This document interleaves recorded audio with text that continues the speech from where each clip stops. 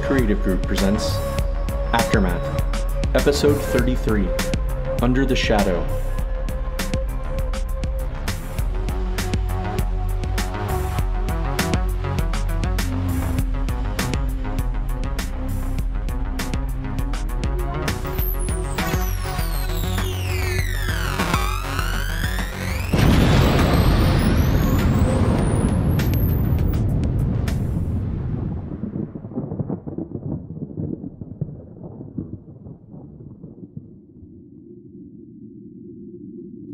News about the arrests and detention of the dissidents traveled quickly.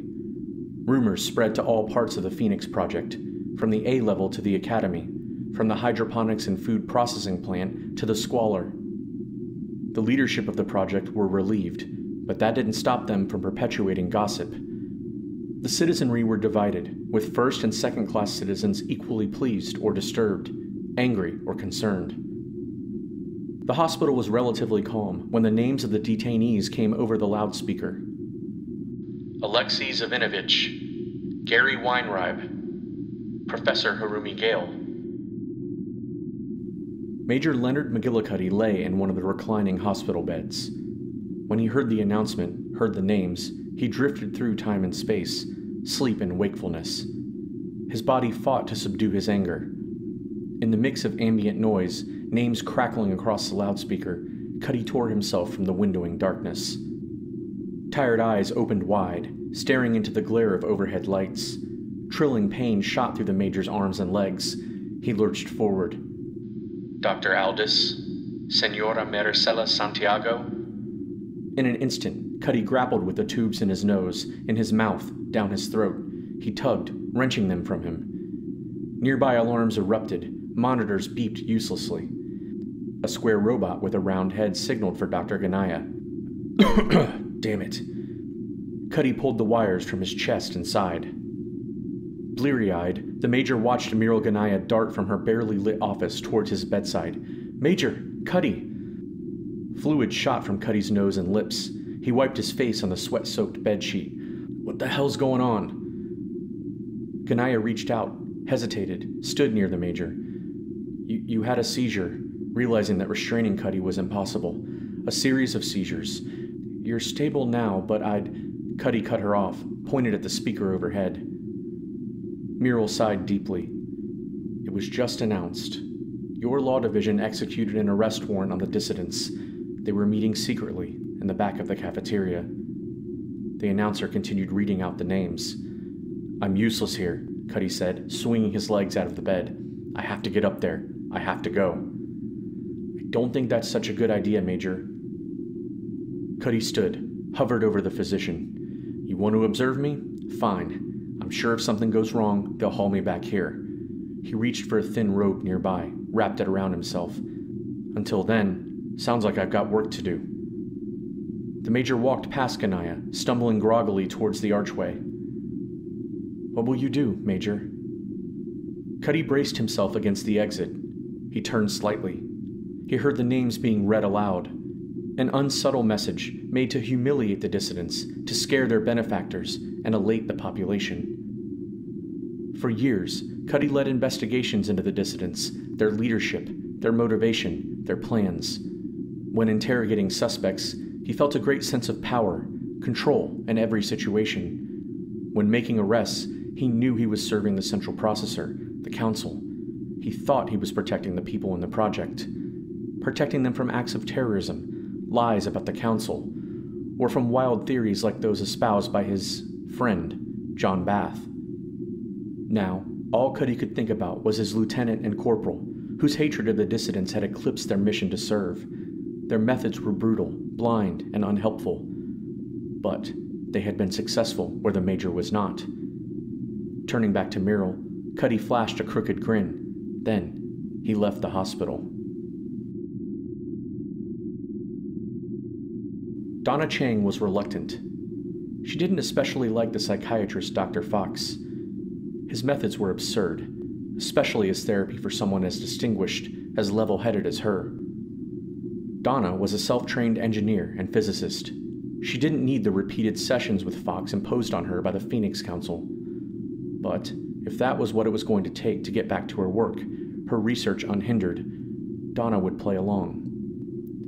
Now? she asked. The bald headed, full bearded man nodded. Yes, now. And, Fox added, bright eyed, maybe too enthusiastically, give it all you've got, Donna. Deep breath in. Doing as she was instructed, Chang inhaled four seconds, held the breath a tick, and then screamed. She shouted long, loudly, trying to count the seconds, losing count, feeling her face flush with blood. When she finished, Donna glanced up at Fox, who grinned with glee. She wanted to smash his cherubic face. She wanted to. Don't think, Donna, the psychiatrist insisted. Just scream. Again. Donna leaned back, breathed hard, deep into her diaphragm. She screamed, leaning forward. Her eyes swelled. She thought of her father, Chang Wak Yi, how he dismissed her, buried himself in his work. He left Donna and her mother, his mistress, to fend for themselves while he enjoyed the prestige offered by the Shadow Council. Her father was an elitist, sexist, disappointed in his mistress and the daughter who was his only offspring. He wanted a boy to carry on what limited legacy was to be his in the confines of the project. Chang Wak Yi, or Chalky as he was called by his colleagues, indulged in fine food, but picked on Donna or her mother if either gained as much as a pound. If you eat bread, you'll look like bread, he once said when he saw Donna put a crouton in her soup. Again, Dr. Fox insisted. He reached for his patient's clenched fists. Donna bellowed, this time louder, remembering her father's drunkenness, physical punishments her mother endured, mental punishments she had somehow forgotten. You are lucky my wife didn't survive to see this unfortunate place, Chalky told Donna, as if she was responsible for both the conditions of their living quarters and the Phoenix Project as a whole. She would not have survived this life. Donna always interpreted this comment as a criticism of her character. She was the product of an affair. She did not deserve a real family. Like her father, Donna belonged to the People's Republic, to the state. She gasped for breath, felt Dr. Fox opening her fists. Her nails had dug deep into her palms, not quite enough to draw blood. Someone will hear. Someone. The room is soundproof, Donna. Fox rocked in time to Chang's own movement. This was supposed to be soothing, but Donna felt awkward, afraid, untouchable. It's okay, Donna. You're safe here. Again. Chang shouted, hoarsely, painfully holding nothing back. She remembered Chalky's lovers, all peroxide blondes and ginger haired Westerners. Donna caught him with them. Whores, she thought, undeserving women from the squalor, whose only virtue was they knew how to make themselves appealing and how not to get pregnant. Her father couldn't even be faithful to the mistress who survived the fall of New York with him. Chalky sent Donna to the cafeteria or the common areas, as if a reconstituted meal, an off brand soda, or freeze dried candy bar would make her forget what she saw, that it would somehow endear her to her father. Instead, Donna wandered. Too often she found herself in the Academy's library. The artificial climate controls always seemed to be inoperable. Alone and cold, alone and warm. It didn't matter. She lost herself in books, schematics, manuals, she taught herself how the Phoenix Project worked, how machines in the outside world were supposed to work. Maybe, she thought, by learning all she could about the project's bizarre amalgamation of 20th and 21st century technology, she could make herself an asset. She could impress Chalky. She could surpass his knowledge, his usefulness, make her father obsolete. There, there, Fox said, lightly touching the back of Donna's palms. That's enough, that's enough. Donna ceased shouting, caught her breath. Her mouth was dry. I love my father, she thought, remembering him on his deathbed, the aluminum container of red notebooks. I hate my father. I am not my father, but. Do you feel better? Fox asked, relinquishing Donna's hands. He produced a cool cloth, handed it to her. Donna nodded cautiously, rubbed her raw, pink eyes with the cloth. Curse Fox, she thought. He made her feel insecure and yet strangely free. The feeling would not last, or maybe she would find herself ruminating on these memories too long. Being vulnerable would limit her usefulness. Others would see something in her and criticize, even if not openly. Gestalt therapy, you say? Chang asked, looking up. It's an old, less orthodox technique, the psychiatrist explained. Now, I thought we would transition. Try some EFT. EFT. Emotional freedom therapy. Chang rolled her eyes. She stood, hovered over Fox, the towel dangling from her hand. Before she could say anything, a mushroom shaped lamp on the doctor's small metal desk blinked. Oh, Fox said, turning, a look of alarm on his pink face. He did not take the towel. What is it, Doctor? I don't know. Fox stood. He walked to the desk, tapped a button. Yes? Dr. Charles Fox, you are needed in the stockade. Stockade? The dissidents are apprehended. All right, I understand. Fox removed his finger from the button. His face suddenly seemed pale, bone white. I have to go, but I'll see to it that prescription for the hormones we discussed is delivered uh, promptly. Discreetly, Donna reminded him. She didn't want Muriel Ganaya to know about the fluctuating levels of adrenaline and sex hormones in her body, the biological need to control them. Dr. Fox nodded.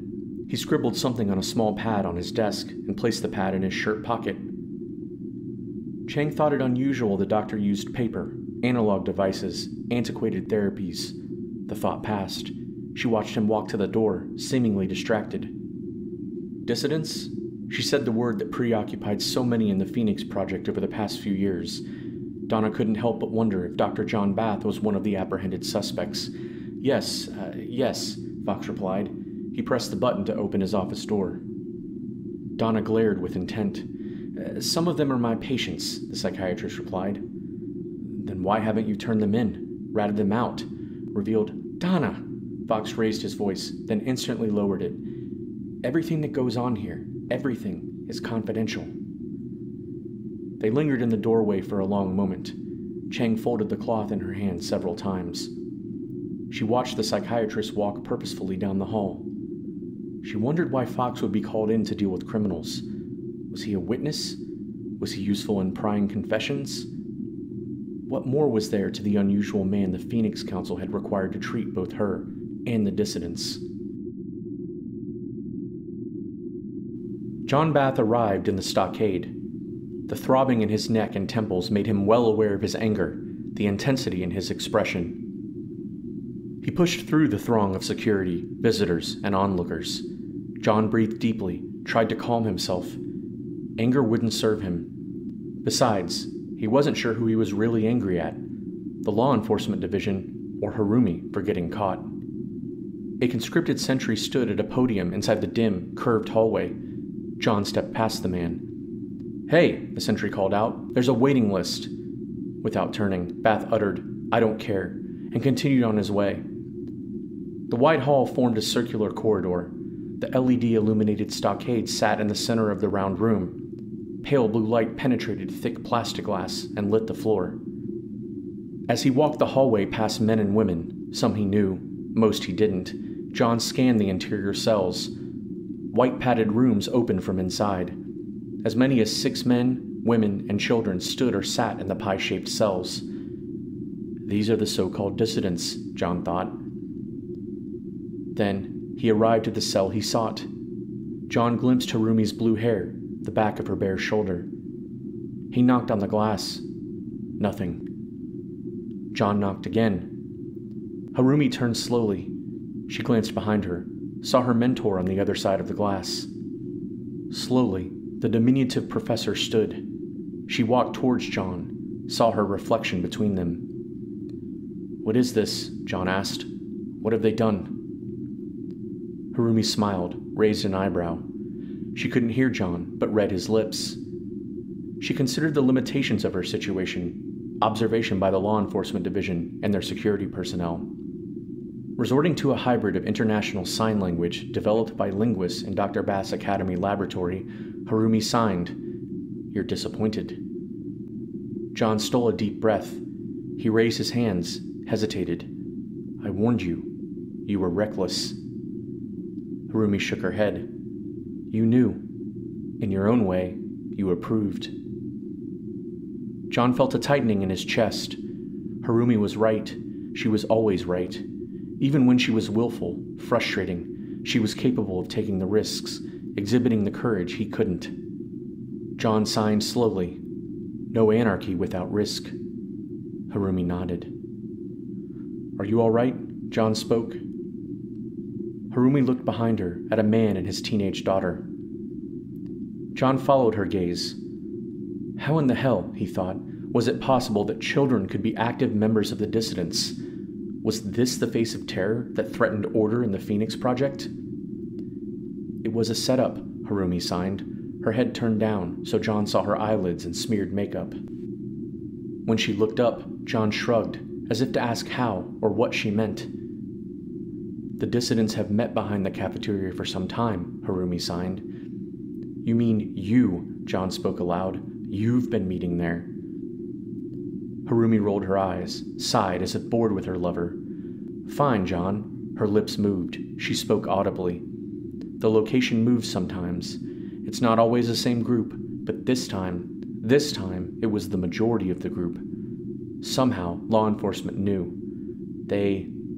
She paused a moment, a hint of regret in her voice muffled by the glass between them. They knew we would be there. John's eyes narrowed. Someone on the inside. Yes, Harumi said, nodding slowly. They could have raided the meetings any time, but they chose to execute the warrant then, when Maricela was there, when these women and old men and children were there.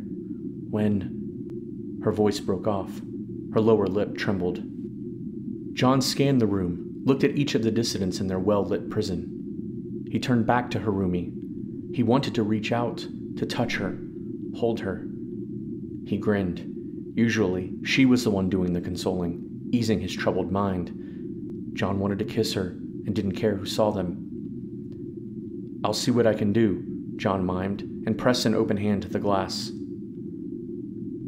Nearby, at the entryway to the curved hall, security recruits were pushed, voices raised, stanchions fell, security pushed back. Then, Major McGillicuddy entered the room. John turned from Harumi. He watched Cutty, clad in an oversized t shirt and loose fitting pants, knocked down one of the armored recruits. The major was disheveled, his usually coiffed hair unkempt, his face unshaven. Out of my way, Cutty growled. I'm Phoenix law enforcement. Hey, John called out. He walked towards the crowd forming. Two more security conscripts pounced on Cutty. Their pudgy faces showed confusion, fear. John thought of the Major defending them from oversized vermin in the tunnels under New York City, fighting rockheads at the exit to those tunnels.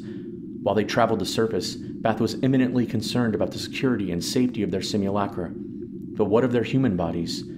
Surely, conflict here in the underground tunnels of the Phoenix Project could waylay their best efforts to liberate its people. Before John could part the crowd gathered around Cutty, he saw two official law enforcement officers. Both wore the traditional Phoenix battery gear armor on chest and shoulders, knee pads, batons, and electric pistols. All right, all right, the taller of the two officers ordered. That's enough. Cut this shit out.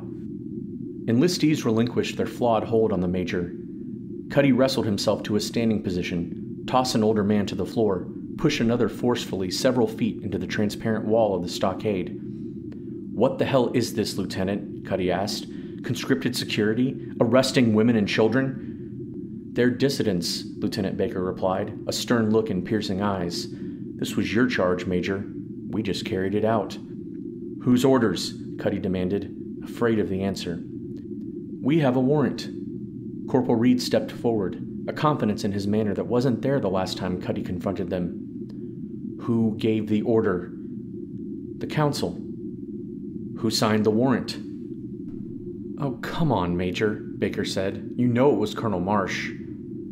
Cutty backed up a few inches. His left heel felt unsteady, his eyes glassy. Marsh. Her name and signature on the warrant, Baker said, turning to the volunteer security nearby. He raised his voice. You asked me, it was about time. Put this nonsense to bed. I told you not to move without me, Cutty leaned in, teeth gnashed. Like you said, my charge. Lieutenant Baker shook his head. You know that's not how it works, Cutty. The order comes down, we follow it. You weren't here, so we did what we were told. Cutty shook his head.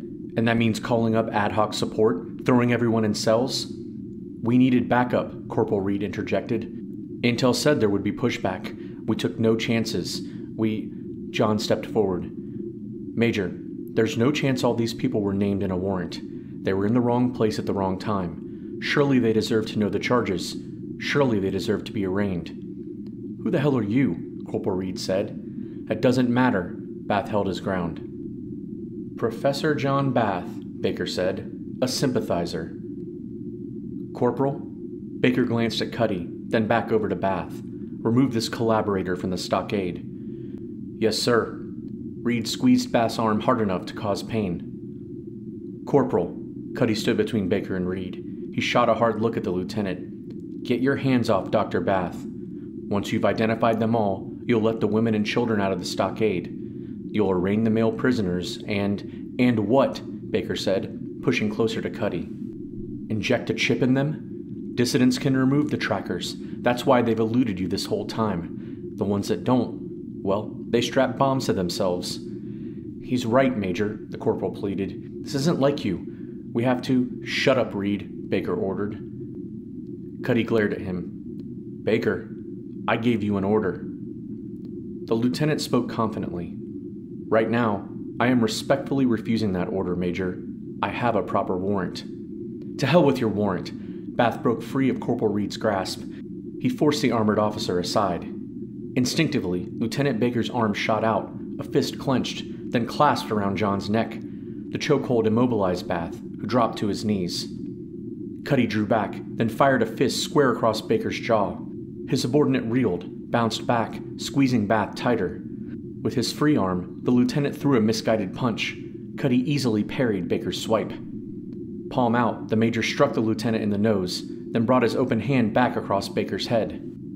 The lieutenant went down. He relinquished his grip on John's neck. Bath staggered, gasping. All eyes in the oval corridor were on them. The prisoners in their cells pressed against the glass. They watched Cutty hover over both men, eyes slight, damning. The major turned to the volunteers, who stood back, leaning against the wall.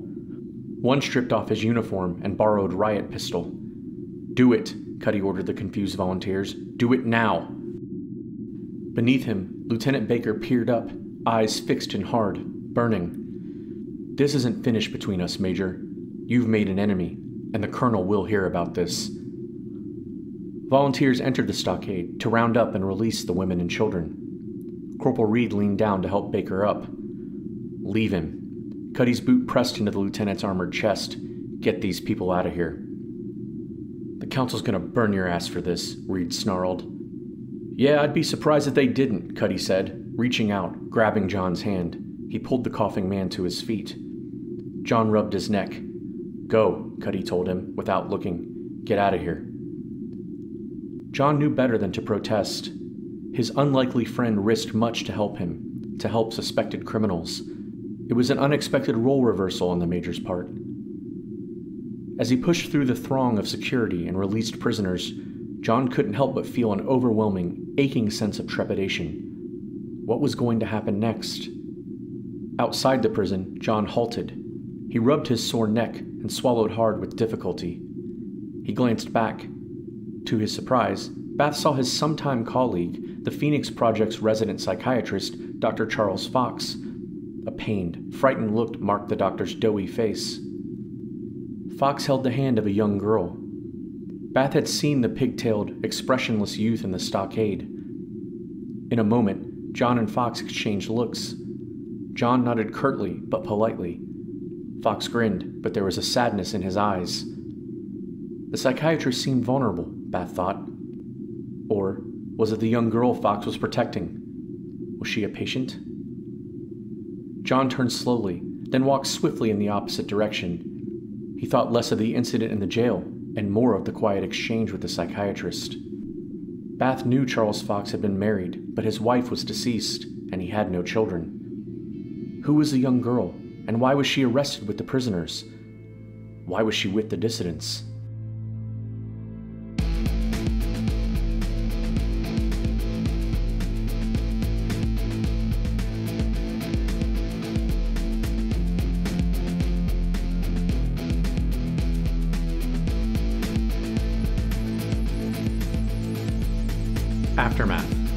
Fire Pit Creative Group production, based on a story created by Rhett Davis, with characters created by Rhett Davis, Warren Davis, Willem de Greef, and Cole Hoopingarner. Written by Warren Davis, with contributions from Cole Hoopingarner and Willem de Greef. Narrated and produced by Cole Hoopingarner. Music by Warren Davis, and video production by Willem de Greef. The sound effects used in the production of Aftermath are used with permission by the creators, and links to these sound effects can be found in the description section of each episode. Please visit our website, aftermathpodcast.net, for updates, original artwork and music, character dossiers, and more. You can also find us on social media on Instagram at Fire Pit Creative Group Official, on Twitter at Group Fire Pit, on Facebook at facebook.com slash firepit creative group, and on YouTube at Firepit Creative Group. Aftermath and its story, characters, music, and artwork are copyrighted by Firepit Creative Group.